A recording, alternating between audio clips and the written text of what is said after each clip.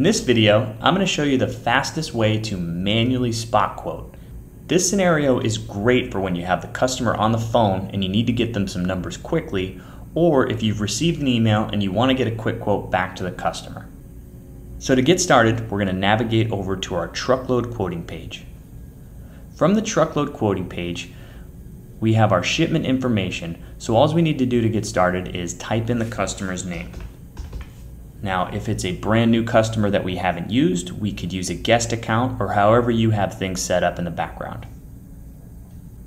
From there, I can type in the weight of the shipment, the trailer type needed, and whether or not it's a full or a partial shipment. In this case, we'll say it's a full shipment. Then I can select my origin and destination, and for the sake of speed, I'm going to type in a few well-known, easy zip codes. Atlanta, to Chicago. There's multiple ways to type in your origin and destination, but that's a fast way to get it done. Now, once I save the shipment, the screen will populate with all my integrated tools that I leverage for quoting. At the top, we can see our own historical lane data. So this number is the average based on my data within the TMS for trucking companies that I've worked with that have quoted me in the past but I can also see DAT Rate View, Truckstop Rate Mate, FreightWave Sonar, and Greenscreens.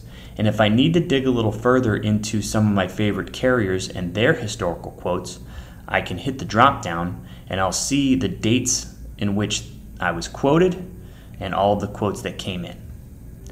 Now, if I'm on the phone with the customer, I've already got a great idea of what I'm going to pay for this shipment, and I can do some quick math in order to tell them over the phone that this shipment is probably going to go for about 1950 or maybe $2,000 depending on what kind of margin I believe I can get with the customer.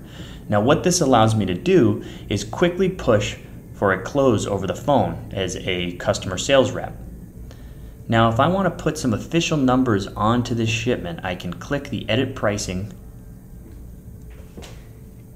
add in my target buy rate of 650 based on the data that we saw on the screen, and then my target sell rate or what I've quoted the customer at, which is 2000. And here I can see I'm getting a 17.5% margin off of the shipment, so I'll go ahead and save that.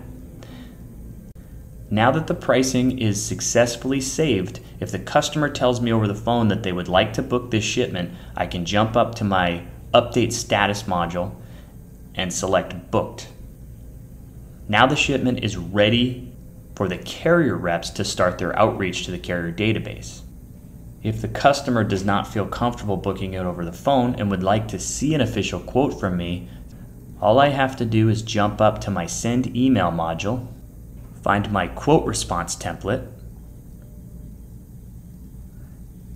And as you can see, the $2,000 that we added to the pricing is automatically pulled into the body of the email, and I'm giving my customer an option to click here and book now, or they can click the attachment to see the official quote sheet. Once the customer selects booked, my carrier rep team will be prompted to begin outreach and posting this load to the load boards.